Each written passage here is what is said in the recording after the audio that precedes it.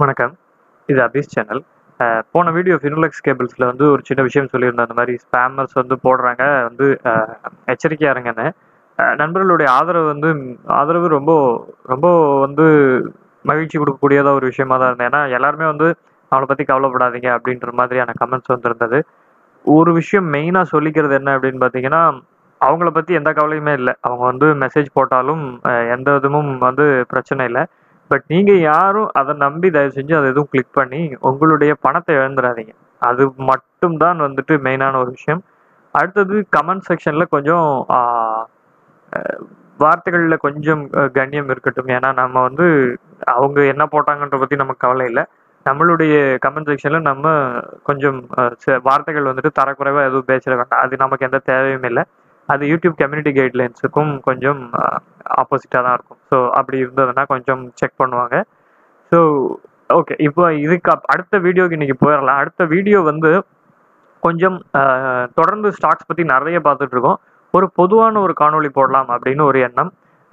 ரொம்ப ரொம்ப நேரம் பேச போகிறதுல இந்த காணொலியில் பேசிக்காக எதுக்குன்னா நம்ம நிறைய பேருக்கு ஒருவேளை ஸ்டாக் மார்க்கெட்டை பற்றி மட்டும் பார்க்கணும். அந்த இன்ட்ரெஸ்ட் இருக்கிற மக்கள் இது வந்துட்டு ரொம்ப போரிங்காக இருக்கும்னு நினச்சிங்கன்னா ஐ மீன் இதை வந்து தவிர்த்தரலாம் இதில் என்ன பேச போகிறோம்னு சொன்னால் நிறைய நம் நம்ம நாட்டிலையும் இருக்கட்டும் நிறைய நமக்கு வந்து இன்னும் வந்து அந்த கிளாரிட்டி இன்வெஸ்ட்மெண்ட்டுக்கும் இன்சூரன்ஸுக்கும் உண்டான ஒரு டிஃபரன்ஸில் உள்ள கிளாரிட்டி இல்லை. ஏன் இதை நான் சொல்கிறேன் அப்படின்னா யூலிப்னு ஒரு பிளான் இருக்குது unit linked insurance plan so unit linked insurance பிளான்னா என்னென்னா அவங்க வந்துட்டு உங்ககிட்டேருந்து வாங்கக்கூடிய பணத்தை ஏதோ ஒன்றில் இன்வெஸ்ட் பண்ணுவாங்க. அது மூலமாக உங்களுக்கான இன்சூரன்ஸ் கவரேஜ் வந்துட்டு டிஃபர் ஆகும். இது மாதிரி இருக்குது அதை தவிர life insurance plan term insurance பிளான்ஸ்லேயும் கூட லைஃப் இன்சூரன்ஸ் பிளான்ஸில் பார்த்தீங்கன்னா நீங்கள் இன்வெஸ்ட் பண்ணால் ஒரு குறிப்பிட்ட அமௌண்ட் உங்களுக்கு ரிட்டர்ன் வரும். இத்தனை வருஷம் கழிச்சு அப்படின்னு சொல்லி சொல்லுவாங்க. கவரேஜ் அதுக்கு ரொம்ப குறைச்சலாக இருக்கும். நமக்கு ரொம்ப நம் நம்ம போடுற பணம் வந்துட்டு மேஜராக நமக்கு இன்சூரன்ஸ் எடுக்காம நம்ம மக்களில் நிறைய பேர் இருக்கிறதுக்கு என்ன காரணம் பார்த்தீங்கன்னா அதில் அது வந்து ஒரு செலவு அப்படின்னு நம்ம நினைக்கிறோம். அதே மாதிரி அதனால எந்த விதமான பெனிஃபிட்டும் கிடைக்கல அப்படிங்கும்போது அது மேலே நமக்கு ஆர்வம் வரல. அதனால தான் வந்துட்டு இந்த மாதிரி பிளான்ஸ்லாம் வர ஆரம்பிச்சது. இன்சூரன்ஸ் போடுங்க அதுக்கு ரிட்டர்ன் தரோன்னு. இன்சூரன்ஸுக்கு ரிட்டர்ன் கொடுக்கறது அப்படிங்கிறது மாதிரி ஒரு மோசமான ஒரு விஷயம் எதுவுமே இருக்க முடியாது. ஏன் அப்படின்னு நான் சொல்கிறேன் ஸோ முதல்ல இன்வெஸ்ட்மெண்ட் அப்படிங்கிறது என்னவா இருக்கணும் அப்படின்னு பார்த்தீங்கன்னா உங்களுக்கு இன்வெஸ்ட்மெண்ட் அப்படின்னு சொல்லக்கூடியது உங்களுக்கு ஒரு ரிட்டர்ன்ஸ் வந்து கொண்டு வரணும். அது வந்து பீரியடிக் ஒவ்வொரு வருஷமோ ஒவ்வொரு மாசமோ ஒரு ஒரு வாரமோ அது எப்படியோ அது ஒரு ரிட்டர்ன் கொண்டு வரணும். முடிவில் கேபிட்டல் ரிட்டர்ன்ஸாக வந்தாலும் அது வந்துட்டு ஓகே தான். இப்போது அது மாதிரி அட்லீஸ்ட் அது ஏதாவது ஒரு ரிட்டர்ன் உங்களுக்கு கண்டிப்பாக கொண்டு வரணும். அதுக்கு பேர் தான் நம்ம செய்யக்கூடிய முதலீடு. இப்போ அதே மாதிரி இன்சூரன்ஸுங்கிறது அப்படி என்ன அப்படின்னு பார்த்தீங்கன்னா உங்களுக்கு அது ரிட்டர்ன் கொண்டு வரணும் அப்படிங்கிற தேவையில்லை. அது உங்களுக்கு எப்போ தேவையோ அந்த நேரத்தில் உங்களுடைய செலவை வந்துட்டு அது கவர் பண்ணுறதுக்கான கேப்பபிலிட்டியோட இருக்கணும். அதுக்கு பேர் தான் இன்சூரன்ஸ் அது வந்து உங்களுக்கு ரெகுலராக இன்கம் கொண்டு வரணும் அப்படிங்கிற தேவை இருக்கக்கூடாது. அப்படி இருந்தால் அது இன்சூரன்ஸ் கிடையாது.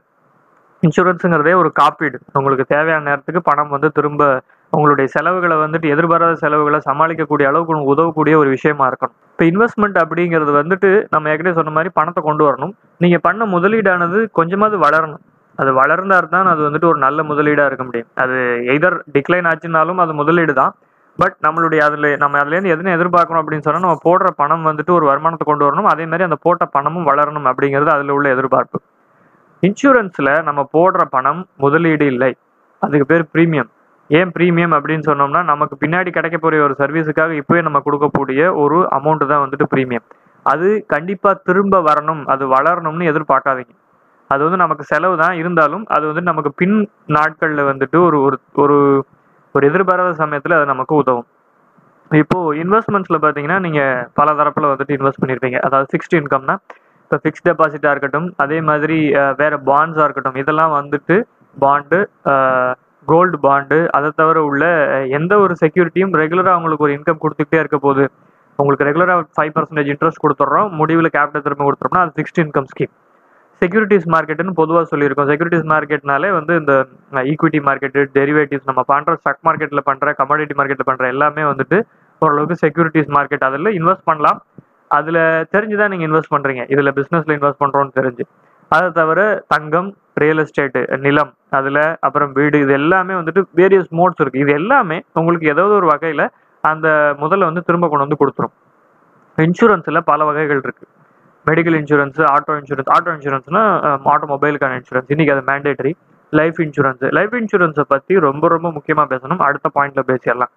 ஸோ இன்சூரன்ஸ்லேயும் பல வகைகள் இருக்குது ஆனால் ஒவ்வொன்றும் ஒவ்வொரு நோக்கத்தோட இருக்குது இப்போ முதல்ல இன்வெஸ்ட்மெண்ட் பண்ணீங்கன்னா அதில் நம்ம என்ன முக்கியமாக பார்க்கணும்னா கேபிட்டல் வந்து சேஃபாக இருக்கணும். போட்ட முதல் குறைந்தது திரும்பி வரணும் அப்படிங்கிறத நம்மளுடைய நோக்கம். அதே நேரத்தில் பெட்டர் ரிட்டர்ன்ஸ் வேணும் அப்படின்னு சொன்னால் நம்ம நம்மளுக்கு எவ்வளவு நம்மளால் ரிஸ்க் எடுக்க முடியும். ரிஸ்க்குன்னா அதுக்காக வந்துட்டு கூடுதல் விலைக்கு வாங்குறதுன்னு இல்லை. இந்த பிஸ்னஸில் இன்வெஸ்ட் பண்ணுவோம் ஈக்விட்டி மார்க்கெட்டில் இன்வெஸ்ட் பண்ணோம்னா அதில் ஃப்ளக்சுவேஷன்ஸ் இருக்கிறதுக்கான சான்சஸ் இருக்குன்னு தெரிஞ்சே நம்ம இன்வெஸ்ட் பண்ணுறோம் அதுக்கு ஏற்ற மாதிரி நமக்கு ரிட்டர்ன் வரலாம். மெயினாக பேசணும்னு நினச்சி இதில் உள்ள பாயிண்ட்ல இன்சூரன்ஸில் இதுதான்.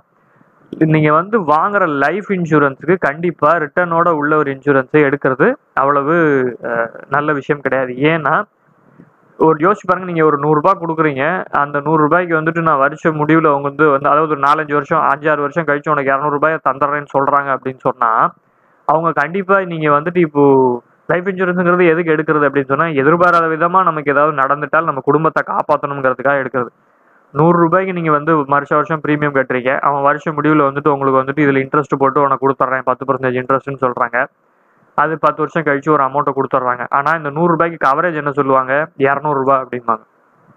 இந்த ரெண்டு மடங்கு கவரேஜுங்கிறத வச்சு நீங்கள் என்ன பண்ண போறீங்க? ஒருவேளை ஒரு உதாரணத்துக்கு நான் சொல்கிறேன் இப்போ நீங்கள் வருஷத்துக்கு வந்துட்டு ஒரு மூணு லட்சம் ரூபாய் சம்பாதிக்கிறீங்கன்னு வச்சுங்களேன் வருஷத்துக்கு உங்களுடைய வருமானம் வந்து மூணு லட்சம் ரூபாய். நீங்கள் தான் சோல் நீங்கள் தான் வந்துட்டு அந்த வரு அந்த அந்த குடும்பத்தில் வந்துட்டு தனியா தனிநபர் வருமானம் மட்டும் தான் நம்பி இருக்குன்னா இப்போ ஒருவேளை அந்த நபர் அந்த மாதிரி நடக்கிறதுக்கு நடக்கணும் இல்லை அந்த மாதிரி எதிர்பாராத விதமாக ஏதாவது நடந்துட்டா இந்த மூணு லட்சம் ரூபாய் இல்லாமல் அந்த குடும்பம் ரொம்ப கஷ்டப்படும். அந்த நேரத்தில் அந்த குடும்பம் திரும்ப அந்த நிலைக்கு வர்றதுக்கு ஒரு நிரந்தர வருமானம் நிலையான மாச மாச வருமானம் வர்ற அளவுக்கு வர்ற வரைக்கும் அவங்கள கவர் பண்ணக்கூடியதா இருக்கக்கூடியதான் அந்த லைஃப் இன்சூரன்ஸோ டேர்ம் இன்சூரன்ஸோ அது குறைந்தது ஆறு மடங்கு இருக்கணும். இப்போ நீங்கள் மூணு லட்சம் வாங்கிட்டு இருக்கீங்கன்னா பதினெட்டு லட்சத்துக்காக நீங்கள் கவரேஜ் எடுக்கணும். கண்டிப்பாக பதினெட்டு லட்சத்துக்கு நீங்கள் கவரேஜ் எடுத்தீங்கன்னு சொன்னால் உங்களுடைய ப்ரீமியம் அதிகமாக தான் இருக்கும். அதிகம்னா என்னென்னா இப்போ நீங்கள் நூறுரூவா போட்டிங்கன்னா நூறுரூவா மட்டும் ப்ரீமியம் வச்சு இரநூறுபா ரிட்டர்ன் வர ஸ்கீமாக இருக்காது. ஒரு பதினஞ்சு ஒரு வந்துட்டு ஒரு ஏழாயிரம் ரூபாய் எட்டாயிரம் ரூபாய் ஒ- ஒரு கோடிக்கு பார்த்தீங்கன்னா இன்னைக்கு பதினாலாயிரம் ரூபாய் வரைக்கும் வருஷ ப்ரீமியத்தோட எல்ஐசிலேயே கூட பிளான்ஸ் இருக்குது ஸோ அந்த மாதிரி பிளான்ஸ் தான் பெஸ்ட் பிளான்ஸ் கண்டிப்பாக ஒரு டேர்ம் இன்சூரன்ஸ்னு எடுக்கிறோம் அப்படின்னு சொன்னால் நம்மளுடைய எதிர்பார்ப்பு நம்மளுடைய காலத்துக்கு பிறகு நம்ம குடும்பத்துக்கு வந்துட்டு அது பயனுள்ளதாக இருக்கணும்னு சொல்லி. நீங்கள் வந்துட்டு இப்போ பத்தாயிரம் ரூபாய் இன்வெஸ்ட் பண்ணுறீங்க குடும்பத்துக்கு வந்துட்டு நீங்கள் மாதம் மாதம் வருஷம் வருஷம் மூணு லட்ச ரூபாய் சம்பாதிக்கிறீங்க. அந்த எதிர்பாராத சம்பவத்துக்கு அப்புறம் அந்த குடும்பத்துக்கு வந்துட்டு இவங்க வந்து ஒரு ஒன்றரை லட்ச ரூபாய் கொடுக்குறாங்கன்னு வச்சுங்களேன் அந்த அது மூலமாக அந்த இன்சூரன்ஸ் மூலமாக அதை வச்சு அந்த குடும்பத்தால் என்ன பண்ண முடியும்? வருஷம் வருஷம் மூன்று லட்ச ரூபாய் சம்பாதிச்சுக்கிட்டு அதை வச்சு சமாளிச்சு இந்த குடும்பம் திடீர்னு ஒன்றரை லட்ச ரூபாய் வச்சு எதுவுமே செய்ய முடியாது. ஸோ இன்வெஸ்ட்மெண்ட்டு இன்சூரன்ஸோட கண்டிப்பாக குழப்பிக்காதீங்க. அதே மாதிரி லைஃப் இன்சூரன்ஸ் குறைஞ்சது ஆறு மடங்கு இருந்ததா ரொம்ப நல்லது. மெடிக்கல் இன்சூரன்ஸு இப்போ உங்களால் திடீர்னு ஏதோ ஒரு உடல் உபாதையோ ஏதோ ஒரு வகையினால வந்துட்டு செலவு ஏற்படுது. உங்களால் ஒரு லட்ச ரூபாய் வரைக்கும் பிரட்ட முடியும். ஏதாவது ஒரு சோர்ஸ் மூலமாக பிரட்ட முடியும்னா நீங்கள் எடுக்கக்கூடிய இன்சூரன்ஸு ஒரு லட்ச ரூபாய் எடுக்கிறதுல எந்த பிரயோஜனமும் இல்லை. உங்களாலே அந்த பணத்தை பிரட்டிட முடியும். உங்களுடைய இன்சூரன்ஸ் மூன்று மடங்கோ இல்லை அஞ்சு மடங்கு இருந்தால் இன்னும் நல்லது. மூன்றுலேருந்து அஞ்சு மடங்கு நீங்கள் பிரட்டக்கூடிய பணத்தோட அதிகமாக இருந்தால் தான் அவசர செலவை உங்களால் சமாளிக்க முடியும். அதுக்கு தான் இன்சூரன்ஸ் அப்படின்னு சொல்லி ஒன்று எடுக்கிறது. இதில் நம்ம வந்து இன்சூரன்ஸ் பிளான்ஸ் பற்றியோ இன்வெஸ்ட்மெண்ட் ஸ்கீம்ஸ் பற்றியோ பேச போகிறதில்ல ஏன்னா அதுக்கு நிறைய அனாலிசிஸ் தேவைப்படும். பட் பேசிக்கலாக சொல்ல வந்தது என்ன அப்படின்னு பார்த்தீங்கன்னா இந்த ரெண்டையும் போட்டு குழப்பிக்காதீங்க. இன்வெஸ்ட்மெண்ட்டுங்கிறது வேற இன்சூரன்ஸுங்கிறது வேற. இன்சூரன்ஸில் போட்ட பணம் திரும்ப வரணும்னு எதிர்பார்க்காதீங்க. அப்படி நீங்கள் போட்ட பணம் உங்களுக்கு வரலைனாலும் வேற யாரோ ஒருத்தருக்கு அவங்களுடைய மெடிக்கல் செலவுக்காகவோ இல்லை லைஃப் இன்சூரன்ஸுக்காகவோ ஏதோ ஒரு வகையில் வேற ஒரு குடும்பத்துக்கு அது உதவுதுன்னு நினச்சிக்கங்க. இது வேஸ்ட் செலவு இல்லை அதை முதல்ல புரிஞ்சுக்க இன்சூரன்ஸுங்கிறது ஒரு வீணான செலவு இல்லை. உங்களுடைய அவசர காலத்தில் எவ்வளோ பேர் அதனால பெனிஃபிட் ஆனாங்கன்னு அவங்கள கேட்டால் தான் தெரியும். ஸோ முடிவாக சொல்ல வர்றது இந்த ரெண்டையும் போட்டு குழப்பிக்காதீங்க. இன்வெஸ்ட்மெண்ட் வேறு இன்சூரன்ஸ் வேறு. அதே நேரத்தில் இன்சூரன்ஸோட சேர்ந்து வர்ற இன்வெஸ்ட்மெண்ட்டு ரொம்ப ரொம்ப ஆபத்தானது. நமக்கு அவ்வளவு தேவையில்லாத ஒன்று. உங்களுடைய காணொலி பிடித்திருந்தால் லைக் செய்யுங்கள் ஷேர் செய்யுங்கள் சப்ஸ்கிரைப் செய்யுங்கள். பெல் பட்டன் கிளிக் பண்ணால் நோட்டிஃபிகேஷன் உடனுக்குடன் வரும். நன்றி வணக்கம்.